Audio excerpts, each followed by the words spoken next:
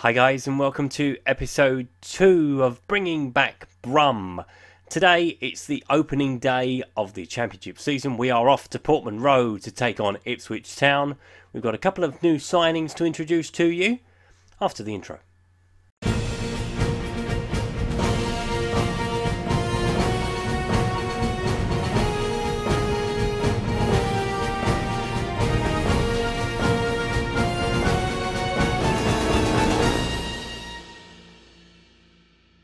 Now, I should point out that all three of the signings are loan deals.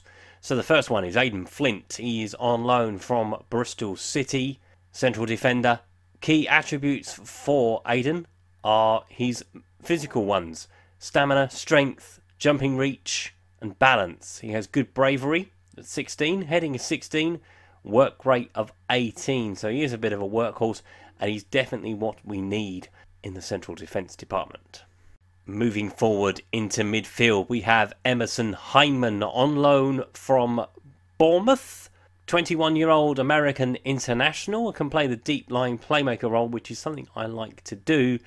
His stats are very, very good, so I'm pleased to bring Emerson on loan. I've had him a few times with FM in the past, so I know him a little bit. So, yeah, delighted to have him back and working with him again.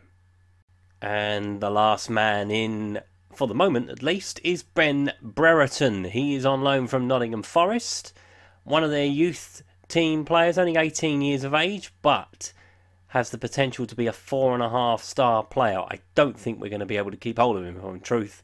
He will probably go back to Forest once his loan ends, but we'll certainly try. Finishing at 12, stamina of 15, work rate of 14 are things that stand out to me as an advance forward again. It's something I like to play, so I'm looking forward to seeing Ben in action, and hopefully we can tie him up to a deal before his loan ends. Taking a trip to the medical centre, we have two additions. Not there for long. Obviously, Lukas Jutkiewicz is still there. He's going to be out for six days to two weeks now, so his calf strain has healed somewhat from episode one. Jake Weaver, one of the backup goalkeepers, has got a twisted ankle. He'll be out for a day. Harlee Dean has a gashed head, so he will miss the game with Ipswich, but he's also suspended anyway, so he wouldn't have been playing regardless. And before we kick off the championship season, just to reiterate our targets for the season. So a top half finish is what the board expect. We hope to go a little bit higher than that. Reach the fourth round of the FA Cup and reach the third round of the Carabao Cup one to watch. And before we get into today's game, it's time to look at the one to watch, and that is David McGoldrick.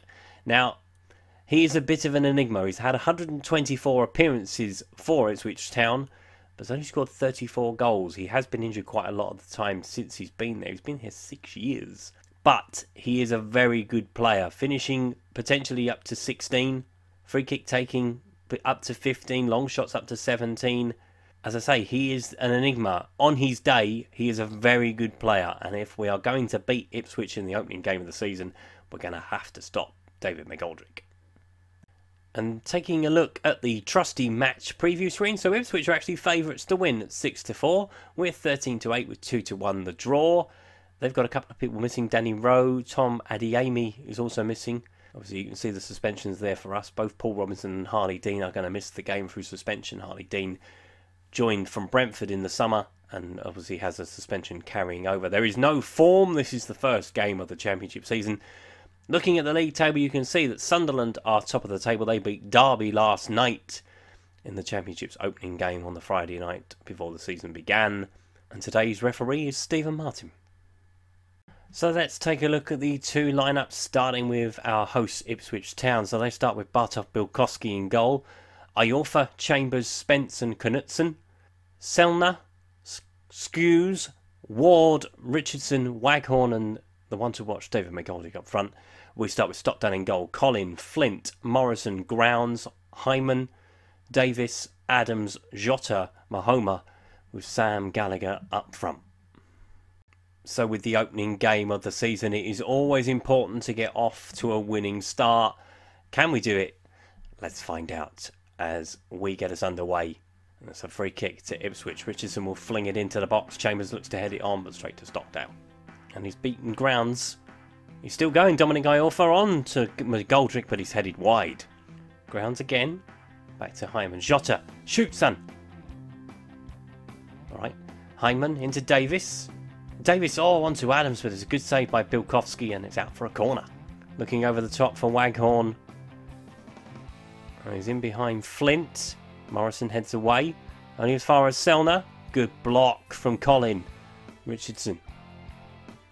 Looking over the top again for Waghorn. He's in behind, but he's shot wide, and I think we're going to have to make an adjustment there. Slightly deeper. And that is half time. When you've had more yellow cards than you have good goal scoring opportunities, you know it's been a bit drab. But a goal hopefully will come in the second half.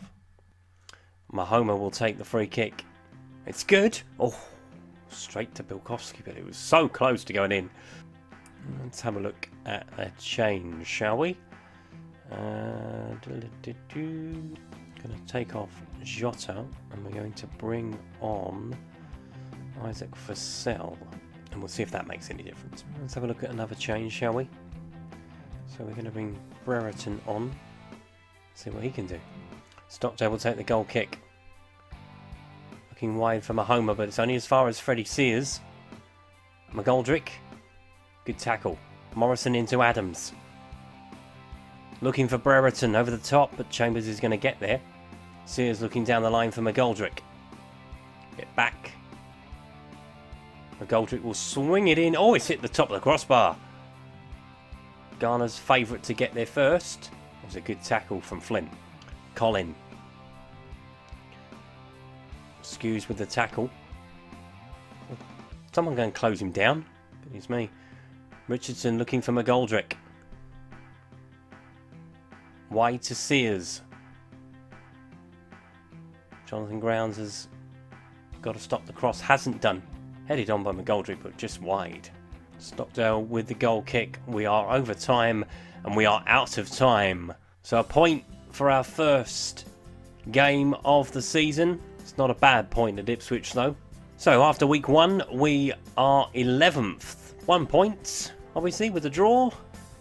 Aston Villa up in second. That will not please many. So as I said, a trip to Ipswich is a difficult place to go. They are very difficult to beat at home. So I'm not entirely disappointed with a draw. We probably should have won it potentially, although they did have that chance with McGoldrick hitting the bar right at the end. But there we are, off the mark, A point on the board, hopefully many more to follow it. Now, if you've enjoyed today's video, please leave a like. If you haven't subscribed to the channel and would like to do so, please click the subscribe button down in the corner. That was episode 2 of Bringing Back Brum. I will see you next time for episode 3. Thanks for watching. Bye-bye.